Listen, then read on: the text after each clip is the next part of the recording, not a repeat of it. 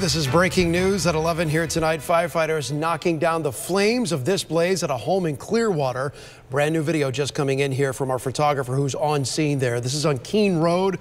The first calls for help made just after 9 o'clock tonight. Six people were inside when that fire ignited. They, they, along with three dogs, were able to make it out alive. The cause is under investigation right now.